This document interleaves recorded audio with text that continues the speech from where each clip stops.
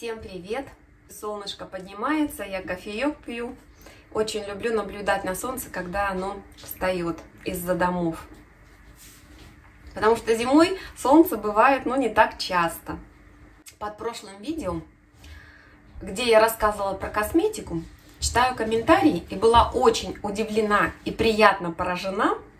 Меня все поздравляют с днем рождения. Я никогда и никому не писала день своего рождения. В комментариях отвечала и писала месяц рождения и год рождения, а день нет, поэтому так была удивлена. Поздравлению. У меня день рождения указан в ВКонтакте на страничке. Я всех-всех благодарю за такие теплые, душевные, искренние поздравления. Читаю их, улыбаюсь, так приятно на душе становится, такая какая-то теплота разливается. Конечно же, не обошлось без колючек, я даже несколько человек поставила в бан. Некоторые люди пишут, заходим на канал и очень нравится читать негативные комментарии. Ну, каждому свое. А мне всегда приятнее читать хорошие, положительные комментарии не только на своем канале, на других каналах девчат, которых смотрю, читаю положительные комментарии и тоже радуюсь за них, что люди так отзываются по-доброму, искренне и пишут пожелания от души. Это чувствуется, когда читаешь. У всех блогеров, кто ведет канал, хоть какой бы там контент ни был, все равно найдутся такие, что пишут э, всякую бяку. Я если вижу, что что-то вот даже вот у некоторых пишется нехорошее, я не дочитываю, не хочу читать. Мне просто самой и неприятно, и даже не хочется знать, что они пишут о других людях. Мне не интересно это. И все. У меня так организм воспринимает. Кому-то интересно вот эти вот негативы читать. Ну, не знаю, каждому свое, конечно. Кто как выбирает свою дорогу, тот так и живет. Вот. Не хочется сильно долго заострять на этом внимание. Мне больше нравится вот действительно, когда люди живут с радостью. Потому что положительная энергия, она дает движение в жизни и все. Ну, да что об этом говорить, много раз уже было сказано, и все это знают много раз хочется поблагодарить людей, которые пишут, ну, действительно, хорошие такие искренние пожелания от души. Благодарю вас. Спрашивают, почему нет фотографий детей, родных. Я должна их все вот так вытаскивать, что ли, и ставить везде. Детские фотографии у меня стояли, были, я их убрала, потому что смотришь, начинаешь как-то вспоминать, думать, и настроение немного, ну, как-то знаю, грустно становится, поэтому, чтобы не бередить, я их убрала. Фотографии сейчас в телефонах полно, открывай и смотри. Зачем вот так вот, чтобы они висели и постоянно. Ну, опять же, это мое такое восприятие. Конечно, если бы близко жили, да, поставил фотографию, ну что, он рядышком соскучился, сходил в гости и все, а так... И тем более, знаете, вот когда думаешь о человеке, например, скучаешь или что-то там, как он, да все, энергия, какую ты воспроизводишь, она передается тому человеку. Твоя какая-то тоска или грусть, она бывает, она может передаться, этого не нужно делать. Поэтому вот так. Я всегда, когда думаю о своих родных, о близких, о всех, я стараюсь думать в позитивном ключе, желать всегда им добра, благополучия и все. Ну, я думаю, все об этом знают, понимают что-то плохое не нужно думать. Или там вот-вот что-то случится, не случится, да, да, да, да, переживать. Наоборот нужно. Не переживать, а хорошие мысли посылать, хорошую энергию отправлять. Кофеек допила, сейчас начну заниматься делами. Да, еще, знаете, девчонки меня спросили, номер помады, которую я показывала в прошлом видео, под лупу рассматривала. Никаких номеров там нету. Что в новой помаде, которую я купила, что на старой помаде. Там вот э, на этой этикеточке сверху написано только сколько граммов и название помады. Все, дата еще проставлена. Может быть, э, номер был на пленочке, в которой упакована помада была, но я тоже там просмотрела, что-то ничего не нашла. Так что уж извините, не могу сказать номер. Ну, вот называется шик, там уже по цвету можно, если что, подбирать. И Frozen Роза. Смотрите, эта помада, ничего здесь не написано. Видно вам, не видно будет. Никаких номеров. Я и по кругу все просмотрела. Ничего нету. А мне пришел крем. который я говорила, купила на Wildberries коллаген. Это корейский, ну как бы оригинал. Тут что-то вот есть. Но я выбирала по отзывам. Отзывы очень хорошие. Подходит для всех типов кожи, как под базовый макияж. Я состав почитала в описании, мне понравился. Ну и по отзывам взяла. Впитывается в кожу очень хорошо, ни жирности, ничего не оставляет. Ну, может быть, для всех по-разному будет. Я даже на руки наносила. Она прям сразу впитывается, руки нежные, гладкие становятся. Если вот шелушение какое-то, ощущение мягкости присутствует сразу, прям с первого применения. Я попробовала. В принципе, мне понравился. Но я его еще не так много использую, поэтому ничего не могу сказать конкретно. Но приятненький. Цена около 400 рублей, что ли, была. Я себе купила хлорофитум. По вашим советам мне написали, что очень красивый хлорофитум Бонни. Он кучерявый. Я не знала, как он выглядит. В интернете посмотрела внешний вид его. Пошла в цветочный магазин и купила себе. Сейчас покажу какой. Вот он, он стоит маленький, кучерявенький. Но на внешний вид похож. Бонни это или не Бонни, не знаю. Я в магазине спросила, как называется. Продавец ответил, что тоже не знает, просто кучерявый хлорофитум. Но я его взяла. Вот этот горшочек стоит 150 рублей. В магазине в этом очень приемлемые цены. Я практически в нем всегда и покупаю цветы, какие мне нужны. Находится магазин на, на пересечении проспекта Строителей и проспекта Ленина, рядом с подземным переходом. Давно-давно торговали цветами. Полностью вот это место – было как базарчик цветочный, и искусственные, живые цветы, всякие-всякие разные. Это еще, когда я в школе училась, приезжала на каникулы к дедушке с бабушкой, они у меня жили в Барнауле, и вот там, когда мимо проезжаешь, всегда много цветов, так все красочно. Я хочу вот этот хлорофитум заменить, потому что со временем росточки уже им питания будет не хватать, они пожелтеют. Но пока не буду менять, еще цвет нормальный, питаются. А потом, может быть, даже вот этот кучерявенький пересажу вместо этого. Ну, посмотрю. Мне еще в этом магазине понравилась традисканция двух видов. Одна такая с каким-то красноватым отливом, другая темно-зеленая. Мне больше всего зеленый цвет понравился. Я бы сразу взяла, но что-то, блин, не знаю уже куда размещать цветочки. Посмотрим, может возьму. Традисканция у них 250 рублей стоит.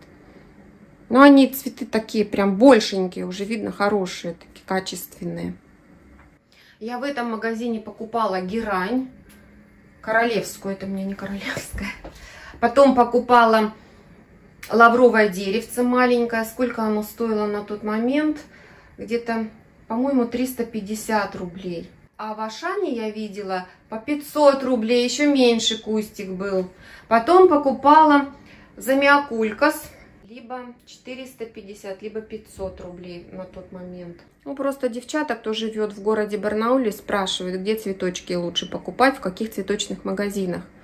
Ну, не знаю, может быть, где-то еще есть. Я ж не по всему городу ездю. Где рядом с домом находится, там и хожу в шаговой доступности. Магазины все куда-то специально ехать. Ну, как-то зачем? Рядышком, если есть. Солнце все выше, все выше поднимается, освещает все комнаты. Хочу сейчас приготовить легкий супчик. Мясо отварила, на бульончике курином сварю. Ну, с морковкой обжарю, потом лапшички, картошечки добавлю. Такой легенький хочется супчик. У меня есть еще котлеты замороженные, их поджарю на обед. Гарнир какой-нибудь приготовлю. Гарнир тоже надо. Вот и все. Вы знаете, я заметила в своем организме такое изменение. Стало меньше есть конфеты. Сахар я вообще не употребляю. Но, конечно, если какие-то блюда нужно готовить сахаром, я готовлю и это ем. А так, чтобы конфеты есть, уже вообще стало меньше их есть. Да, можно сказать, несколько дней уже не ела. И нет у меня такого желания есть конфеты. То есть отпадает постепенно желание сладостей. И причем тоже аппетит как-то, ну знаете, подходит время к обеду, я есть не хочу, ужинать тоже время нужно бы покушать, а я не хочу, нету желания есть. Странно, с чем это связано, но я думаю, что это связано с тем, что меньше стало есть конфет. Ну, потому что другого варианта нет. Как думаете, от сладкого это или нет? Видите, торчит как волосина закрутила не в ту сторону. Но они, если у меня волосы вот так не выпрямить, они наоборот выворачиваются. Даже если короткая стрижка, нужно укладку делать постоянно. А я не хочу пользоваться феном часто.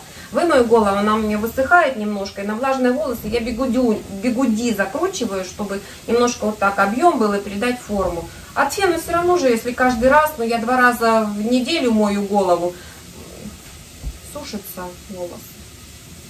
Поэтому я тоже здесь вот бигудюльки накрутила и с одной стороны волосы все равно поднимаются. И даже на ужин иногда я просто попью кофе, даже кофе, или там чай с кусочком сыра, или на хлеб намажу мед с маслом, и вот так, все, мне достаточно. Такая легкость в организме, мне нравится, когда легкость, ощущение какого-то, не знаю, полета, что ли. Утром встаешь, тоже легко-легко себя чувствуешь. И в обед тоже порции прям значительно меньше стали. Все-таки я полагаю, что это связано с тем, что меньше стало конфеты есть. К своему организму нужно же прислушиваться. То, что ему нужно, то и попробовать. Это же все идет просто во благо здоровья, а не так, чтобы какие-то эксперименты кардинальные делать. Нет, все понемножечку, постепенно, умеренно. А если чувствуешь, что это тебе хорошо, от того, что ты меньше сладкого ешь, там конфеты или что-то, то значит это правильно. Твой организм все подскажет, как ему комфортно. Вот и все. Хочу сейчас приготовить бисквит, шоколадный рецепт бисквита есть такой. Обед у меня готов. Супчик такой легенький приготовила. Котлеты в сливочном соусе. Все, они уже готовы. Тоже можно выключать с зеленушкой. Вкусно получается. На гарнир решила гречку приготовить с луком и с морковкой. И много сливочного масла добавила. Вот так. Обед такой будет. Бисквит у меня еще стоит в духовке. Через 2-3 минутки буду вынимать. Я бисквит пеку для заготовки. Замораживаю это, чтобы на случай, чтобы когда гости раз быстренько разморозила и крем приготовила, тортик собрал. Я себе на обед гречку и подливки немного. А что-то котлету не хочу. Но она очень вкусная, и тем не менее мне не хочется. Ну, как-то вот, да, такое интересное состояние организма. Как-то, ну, мало хочется есть. Пообедала, позанималась делами, у меня деятельность за ноутбуком и много времени провожу, поэтому в течение дня делаю небольшую разминку для тела. Очень хорошее упражнение, но даже просто сделать утром можно. Упражнение вот так для стройности, для тонуса. Руки ровно и кручу. Столько, сколько мне комфортно. Хоть минуту, хоть две, хоть вообще 30 секунд. У кого есть диск здоровья, классная штука. Я думаю, знаете, такой кругленький встаешь и вот так же крутишься. Очень хорошо.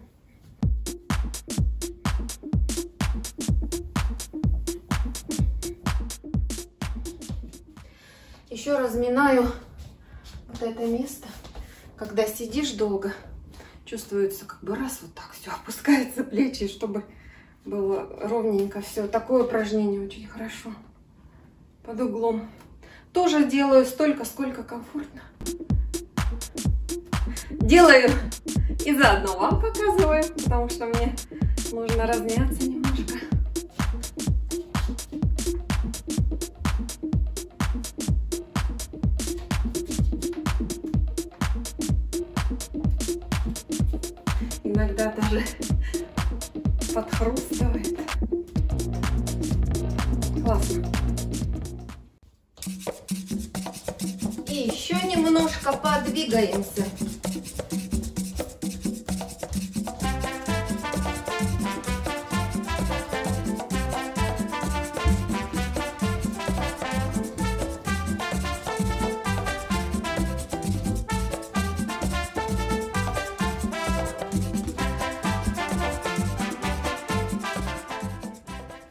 Всем пока-пока.